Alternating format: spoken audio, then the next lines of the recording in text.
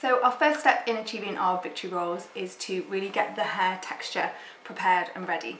So first thing I'd recommend is actually don't do this on for freshly washed hair. Um, having a bit of a few of the nice natural oils in our hair is really going to help this style stick. Um, and I have very fine hair and this really, really is essential for anyone that has hair type similar to mine. Um, I'm going to help the process even more by adding some dry shampoo. So use whatever brand you want. Um, we're going to be working a lot around um, the hairline today, so that's what I'm going to um, put this.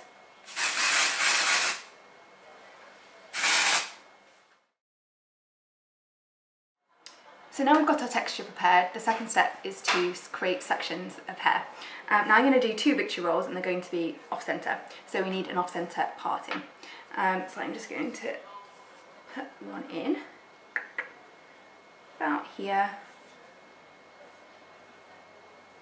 Not too deep.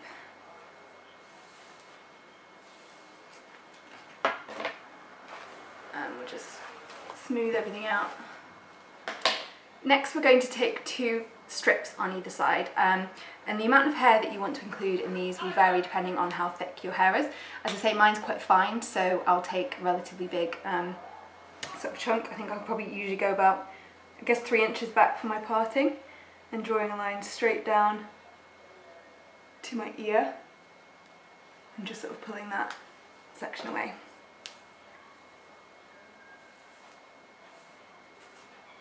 So, once you've got your section, just going to tie it out the way for now. I'll do the same on this side and find that line and continue it.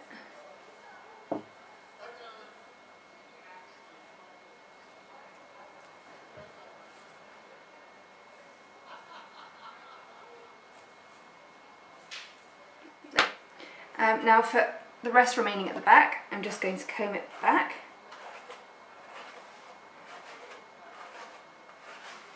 And I'm just going to secure it in the centre. We will come back to that later. So now we've got our hair in three nice sections. The next step is to do some back combing to create the basis for our rolls at the front. Now we don't need to be too afraid of back combing because there's back combing that we see in the movies like this going up and down like that quite furiously um, and there's back combing that you can do um, in a little bit more safer fashion that's a lot better for your hair and um, isn't going to create hopefully a lot of damage um, if we are careful. Um, so firstly we'll release one of the sections at the front and we're going to section the section. So I'll take a small bit starting from the back, just using the end of my brush here to um, grab quite a thin section of hair and I'm going to pull it away from my face like so, sort of at a diagonal angle. And then I'm going to start backcombing the section and we only really need to create a backcombing um, base of perhaps about two inches. So we don't need to backcomb the whole length of the hair, this bit's all going to be fine. Um, we'll just create some texture at the root. And what we're going to do for some safe backcombing is we're going to put the brush in, pull down to the root and out again.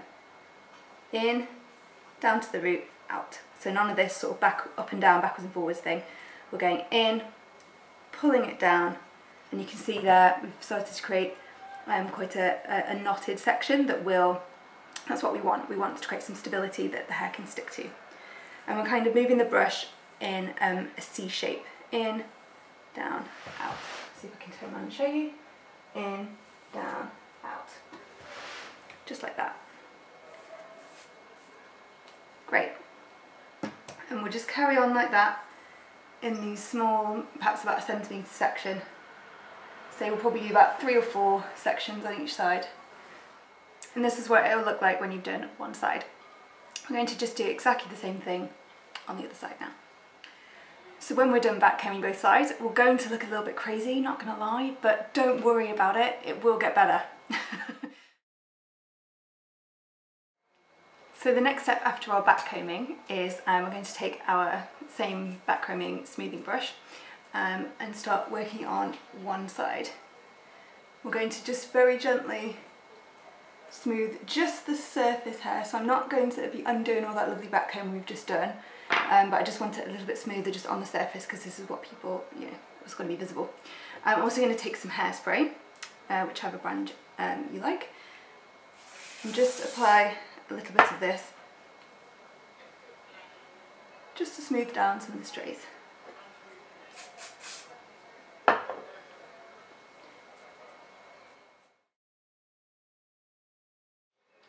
Great, so now that we've done some smoothing, we can start rolling. How exciting.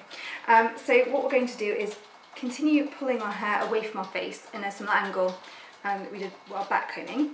Um, and we're going to get to the ends of our hair and create a loop. And then walk that loop down our hair to our scalp. Now it's going to be difficult for you to see because my hair is very long. But I'm creating a loop tucking those ends in as I go.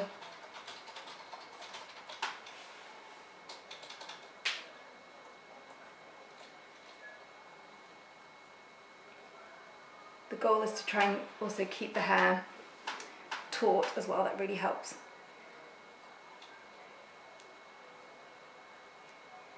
Rolling it down.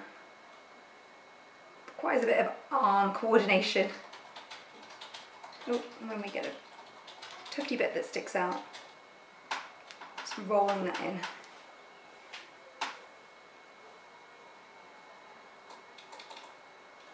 Great, and now I've reached the uh, my scalp.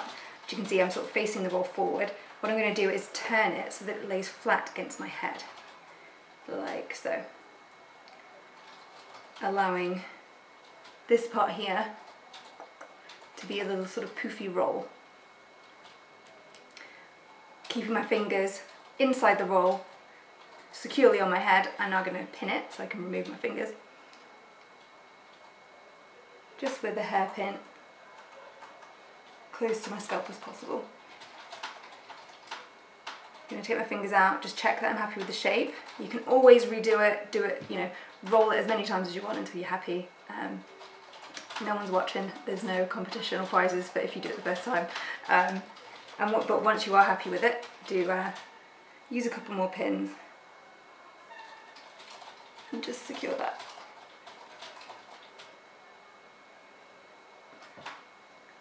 I probably use about three pins usually per roll um, just to secure it. You don't need loads and loads. Um, really that back combing is what's created this really nice base and those pins uh, like anchoring our roll into it. Uh, just to finish this side off, we're going to take some spray again. Give it a little spray. Take our nice smoothing brush, back combing brush, and just taking the side of it. I'm not sticking it in, don't want to spoil all the work we've done. But just give it a smooth round. Those flyaways. Little final spritz. And then we have one side done. Um, so on this side I'll show you another technique to roll that I use because as you've seen my hair is very long. Um, you don't necessarily need to go right to the end to create a loop. Some people might find that easier. Um, but again, because mine's really long, I tend to get, I get my two fingers, put them through the hair, and then use it kind of like as a roller and roll my hair around it, like so. It's a little bit more of a faff, this version. So if your hair is long enough to just create a loop and roll it like normal, go with that. Um, but then once I've rolled it around my fingers, um, I can then walk that roll, take, try and take my fingers out, um, and then walk that roll again, similar to um, the other technique. But I find that a bit easier just so that I'm not whoa, stretching to reach the ends of my hair. Once you've got it near to your head, again, um, we want to turn that roll um, down and rotate it towards the scalp. Then we'll take a pin and secure it. So just give it a little check in the mirror, check you're happy with how the rolls sit in relation to one another. I really like this asymmetrical look, um, I think it suits my face shape. If you'd rather centre part and do um, symmetrical ones, it can almost like look like a love heart, it's very cute, um, go with that. Um, I like this better for myself, but um, and always uh, finishing off with a little bit of hairspray.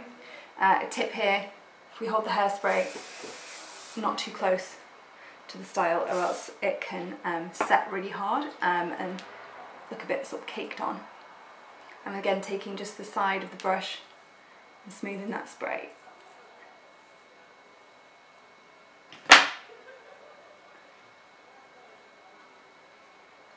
So there we have our lovely victory rolls. Now we've got a third section pair the bit of back. Um, some options here, you could put it in a ponytail on the side of your neck, having it down over your chest with perhaps a flower detail here. You could put it in a little bun um, at the back. I like to use these little things which are bows with little snood uh, cases that I can just roll my hair into.